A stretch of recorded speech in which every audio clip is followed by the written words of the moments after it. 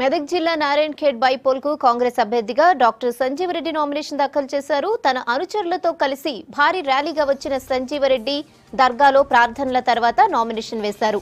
పటోళ్ళ కిష్టారెడ్డి మరణంతో ఖాళీ అయిన నారాయణ్ ఖేడ్ స్థానానికి ఎన్నికలు జరుగుతున్నాయి.